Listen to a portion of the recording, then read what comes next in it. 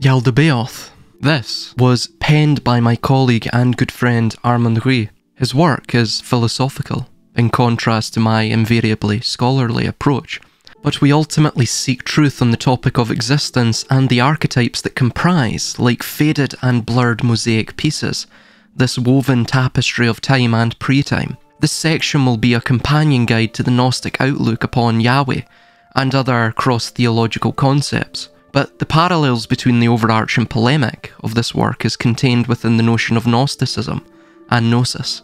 By this token, it is of the utmost importance that we flesh out these ideas, beginning to cogitate upon them in the light of the transversal end of the Piscean Aeon, and provide frontier braving luminaries such as Armunn the space required to posit his thoughts upon this most crucial of subjects. Without further ado, I shall now hand over to Armunn. Quote, the Gnostic inclination is not a movement unified by any kind of conceivable orthodoxy, being individualist at its core, promoting internal self observation and external observation of the self. It emerged long before, certainly, even the records of Eastern Mara and Maya. The individualism places man at the centre of creation, because it is the only creature therein capable of transcending it. This quality peculiar to man is given exactly by the concept that the essential spirit resides encapsulated in the human form. That is a mere crude copy of the Anthropos or the Kabbalistic Adam Kadmon. The primordial man is first emanated from the true essential source. Consequently, man finds himself trapped in a web of illusion, made up of physicality and mental subservience. Given the disdain for orthodoxy, Gnostic thinkers vary in their interpretations of this fallen state of man, which in fact is seen as the fall of the essential spirit into matter. Some, such as the Mandaists and the Manichaeists, see this fallen state of material reality as the result of the conflict between good and evil within God, a conflict that is eternal, that is, that lasts as long as time exists, with no resolution but with individual salvation as a possibility. Others, such as some Egyptian Gnostics and the Platonists, see the material reality as the byproduct of the imperfection inherent to the subsequent copies that generated from the original essence. The author that is writing this chapter at present does not subscribe entirely to one view or another, seemingly aligned with the proper individualistic tradition of Gnosticism, but we'll expound upon that further on.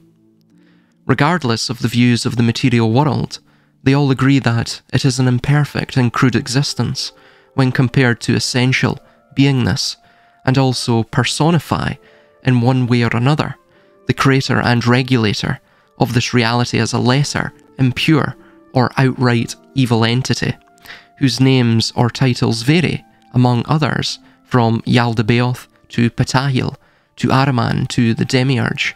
In the pivotal Gnostic text Pistis Sophia, Yaldabaoth is presented as the aborted and abhorrent offspring of Sophia, the Aeon representing wisdom, as she attempted to create without a male counterpart. Whether this demiurge, and, and we will use the Platonist term here, more often due to its modern popularity, is seen as an outright evil entity or merely an imperfect one, its metaphorical energy bears striking resemblance to Yahweh of the Old Testament. It is accurate to assume that this Yahweh usurped the qualities attributed to the one, God, in the scripture that makes up the Torah and Old Testament, as the very telling Exodus 34, verse 14, this is the KJV version, outlines For thou shalt worship no other God, for the Lord, whose name is jealous, is a jealous God unquote. And naturally, this is Isaiah 45, verse 5, again the KJV. I am the Lord, and there is none else. There is no God beside me. Unquote. That corresponds in the Apocryphon of John to, I am a jealous God, and there is no other God beside me, which is correctly questioned in the subsequent verse of the same Gnostic scripture. This is the Marvin Meyer translation. Quote, but by announcing this, he suggested to the angels with him that there is another God, For if there were no other God, of whom would he be jealous? Unquote. Of course, Yahweh does not reveal that he does take on the qualities of the Absolute, despite his evident relativity shown in his jealousy and concern for worship and obedience, as we read in Isaiah 45, verse 7, again the KJV. Quote, I form the light and create the darkness, I make peace and create evil. I, the Lord, do all these things, unquote. This preoccupation with forcing his followers to view him as if he was the one, that is depicted in the Apocryphon of John as, quote, The one is a sovereign that has nothing over it. It is a God and Father of all. The invisible one that is over all, that is incorruptible, that is pure light at which no eye can gaze. The one is the invisible spirit. We should not think of it as a god or like a god, for it is greater than a god, because it has nothing over it, and no lord above it. Unquote. This is again the Marvin Meyer translation. This shows that he cannot be, in fact, that very one. If we read further in the Apocryphon of John, the next section provides more qualities of the one that do not match Yaldabaoth or Yahweh, showing that his proclamation is a usurpation. Quote, It does not exist within anything inferior to it, since everything exists within it alone. It is eternal, since it does not need anything, for it is absolutely complete. It has never lacked anything in order to be completed by it. Rather, it is always absolutely complete in light. The one is illimitable, since there is nothing before it to limit it, unfathomable, since there is nothing before it to fathom it, immeasurable, since there was nothing before it to measure it, invisible, since nothing has seen it, eternal, since it exists eternally, unutterable, since nothing could comprehend it to utter it, unnameable, since there is nothing before it to give it a name. The one is the immeasurable light, pure, holy, immaculate. The one is unutterable, and is perfect in incorruptibility, not that it is part of perfection or blessedness or divinity. It is much greater. The one is not corporeal, and is not incorporeal. The one is not large, and is not small. It is impossible to say, how much is it? What kind is it? For no one can understand it, unquote. Marvin Meyer translation of the Apocryphon of John. It is the author's own understanding that the Catharist idea that the God of the Old Testament is Satan and the Father of the New Testament is the essential God is inaccurate. Both have, as Silas presented earlier, qualities that link them to the oppositional force, albeit with different guises exactly to, again, usurp the perception of being the One. In this author's view, when the title of One is used within the framework of Yahweh or the material world, it is a reference to the inversion of the quality of that pure light mentioned in the Apocryphon of John. In the material world, light is what allows one to see the individualized characteristics of creation, while darkness is what blinds one to them. Therefore, for there to be a one, God, from the other many that he is jealous of, he has to envelop the world in one darkness in order to be worshipped as the supreme. The pure light would require no such unity, as it does not need anything, because it is, quote, has never lacked anything in order to be completed by it, unquote. In that sense, and even in accordance with most of the diverse Gnostic views, that darkness is equated with the Western concept of sin, which is not only an archery term meaning missing the mark, but also derived from the Greek concept of hamartia, which means tragic flaw.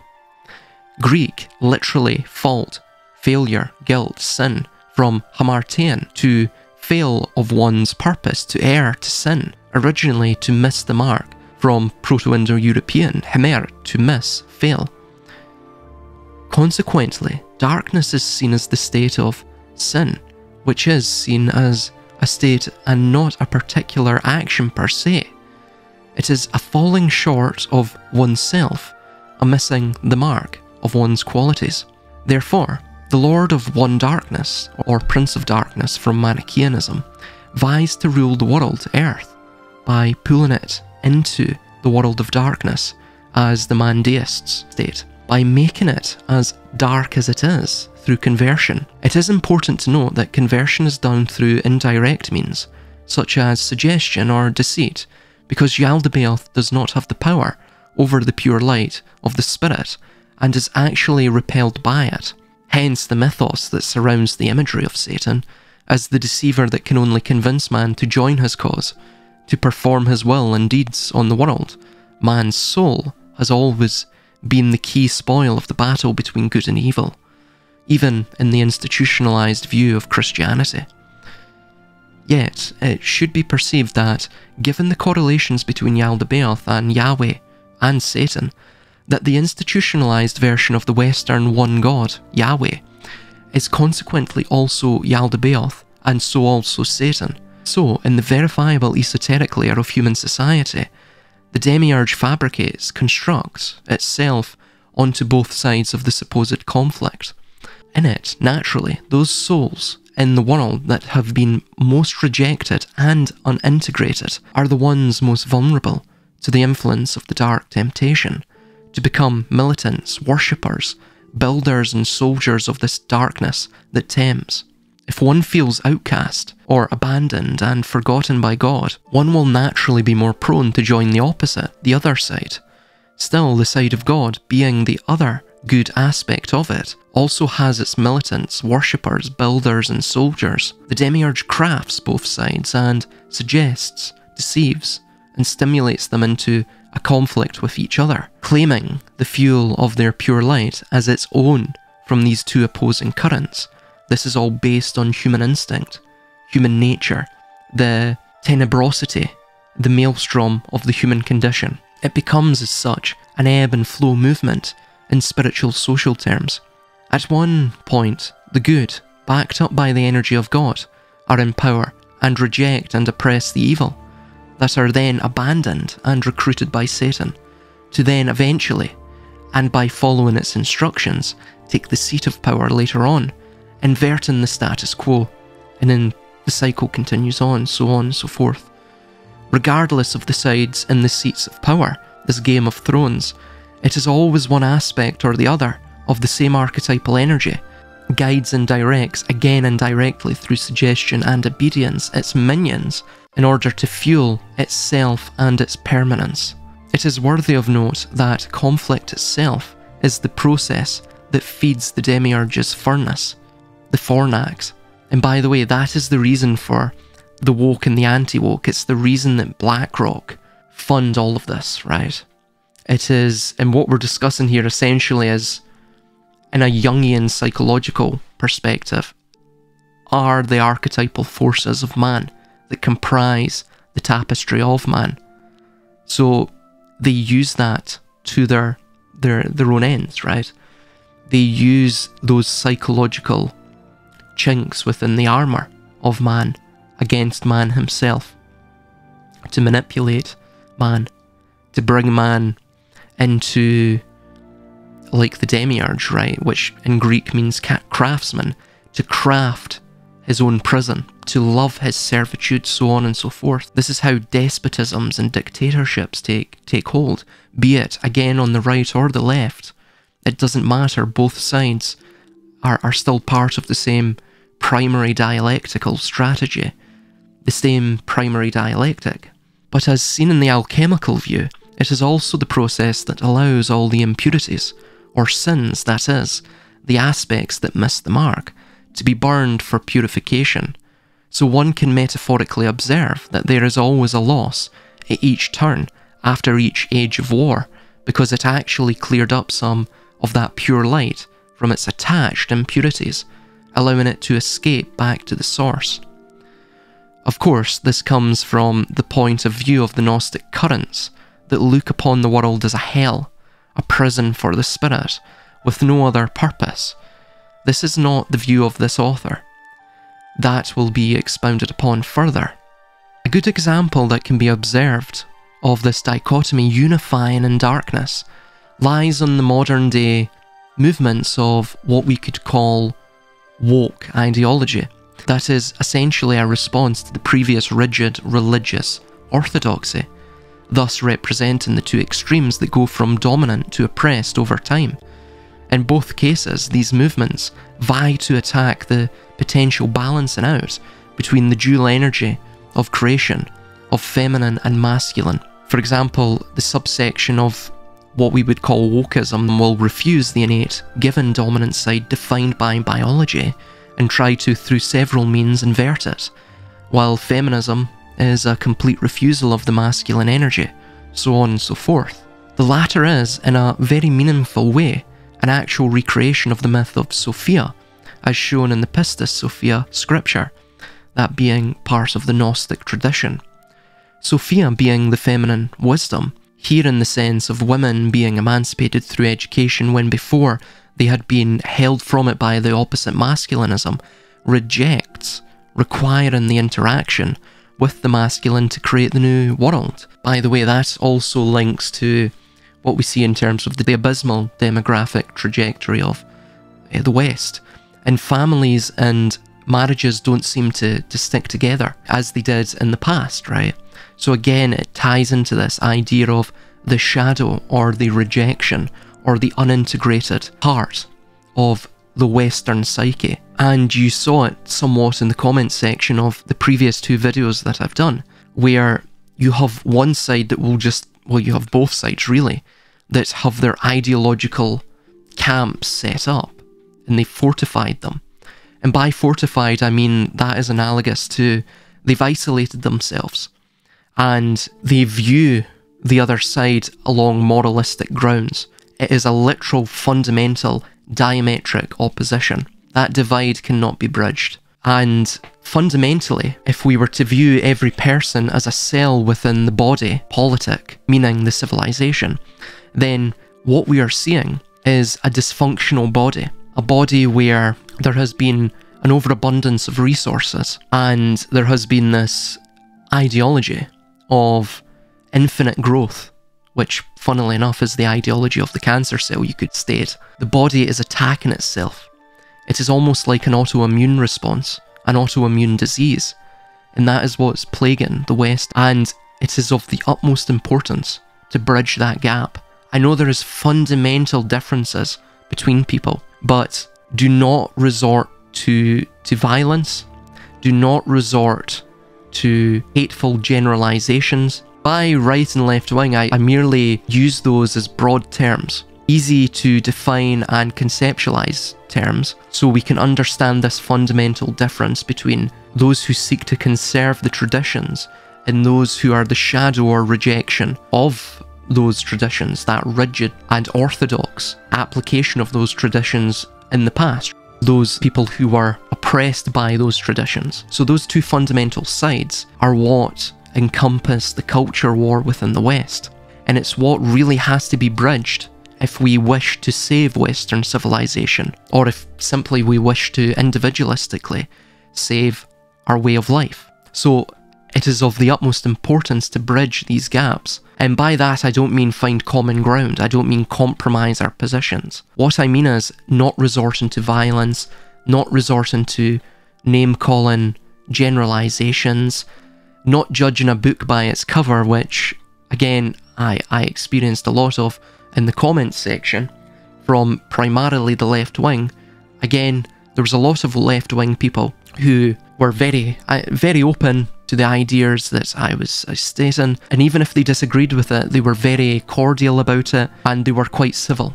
And that's what I'm talking about. That's the bridging of the gap that I'm talking about.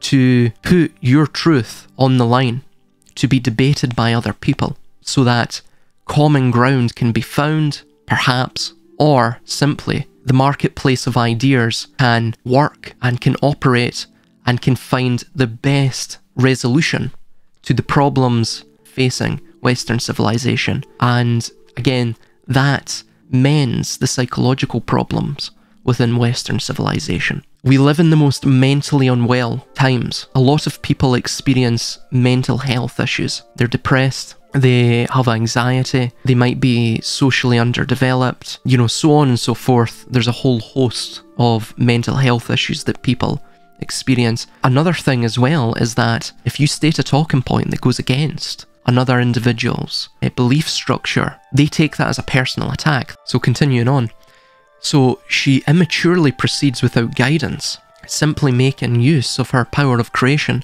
and destruction like the Hindu Kali, believing herself completely self sufficient and self loving. Naturally, just like in the Sophia myth within Gnosticism, she will eventually repent, noting the aberrations that she brought forth and the chaos she caused. This is the same myth as uh, the Mahakali or the, the Dark Mother, right? And she goes on a, a, a blood frenzy, a rampage. But eventually, and, of course, she stands on top of Shiva, the masculine, essentially what we're going through right now. But eventually, that chaos subsides. There's actually a very interesting quote from the Old Testament that I always hearken back to, and it's something actually covered within the Gnostic tradition. In Isaiah 66, verse 9, the Lord will not provide you pain without the promise of new life being born.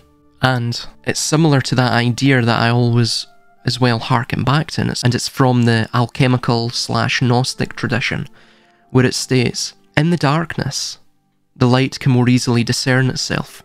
And by that, what we are stating metaphorically is that even in the deepest darkness where chaos reigns and people are at each other's throats, the promise of goodness still remains, and people can always turn away from the savagery.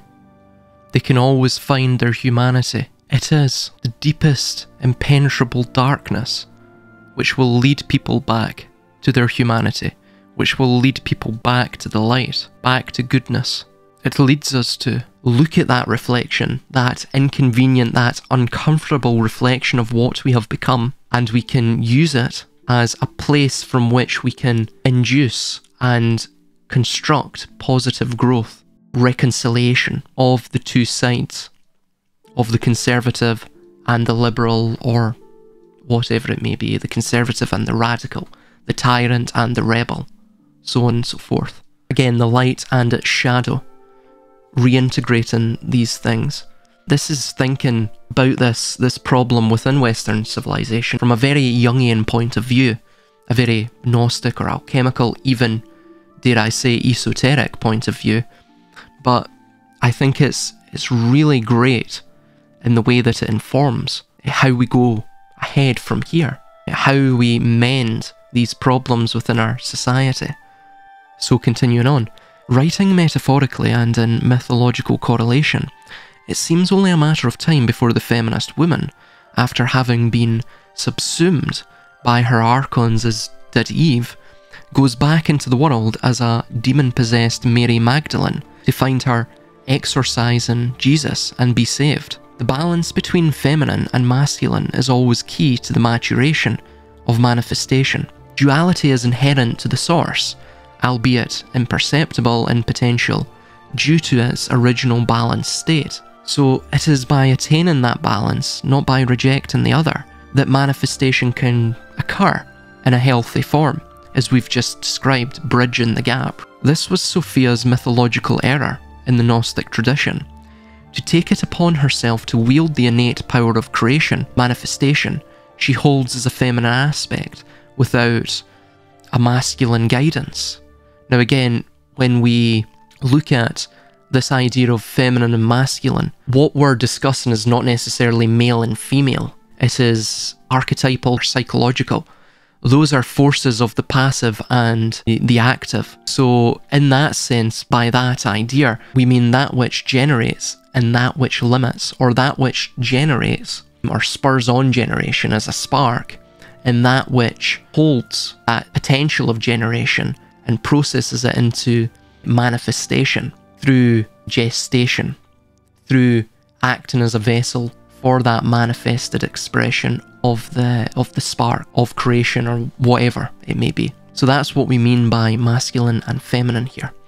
Thusly, whether there is a rejection of the innate manifested energy in favour of its complementary or opposite, even if masked by non dualistic attributes, which is what occurs in wokeism, or a rejection of that complementary dualistic energy replaced with a sense of independent self gratification, which is what is observed with not only feminism, but masculinism.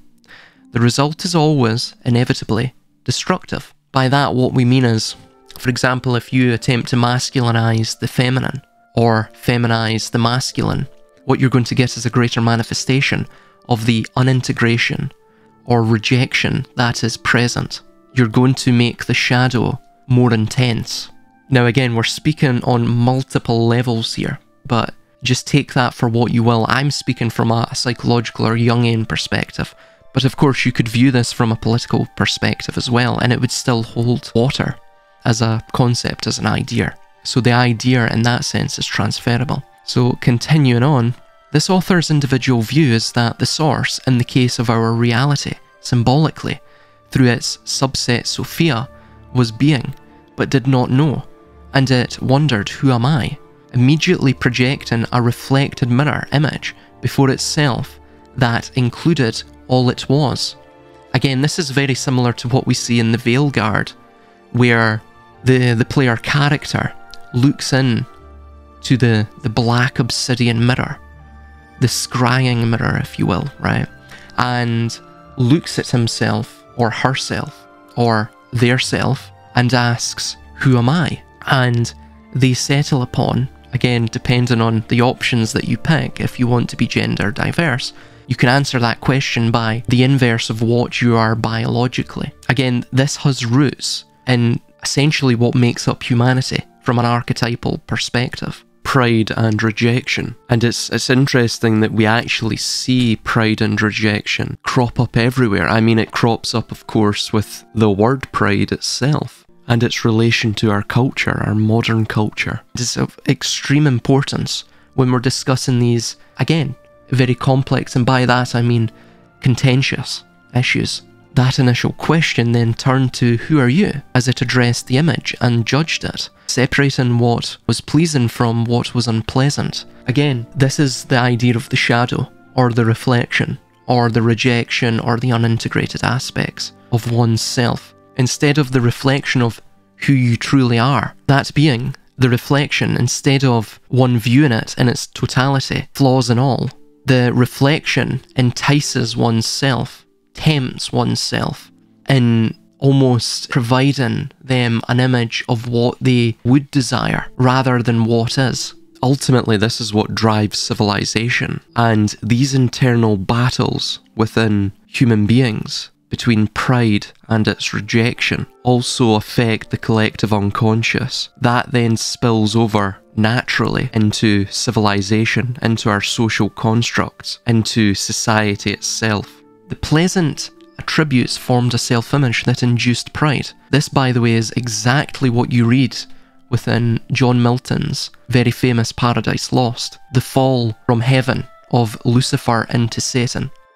The idea of pride, the desire that uh, is reflected back at you by the, the tempting shadow, which induces pride, and what, of course, comes before the fall? Pride because pride is an ontological position that rejects the flaws, the true and inherent flaws of one's being, totally sweeps under the rug all of the flaws of one's own character, instead of facing those demons head on and defeating the demons by integrating them, by ensuring that they no longer hold power over oneself anymore. As it mentions in the New Testament, remember, we do not wrestle against flesh and blood, but against powers and principalities, against those forces, those psychic forces, which hold sway over our psyche, over our psychology, over our thoughts, our mind, which hold us prisoner. The pleasant attributes formed a self image that induced pride. By the way, this links to the story of Lucifer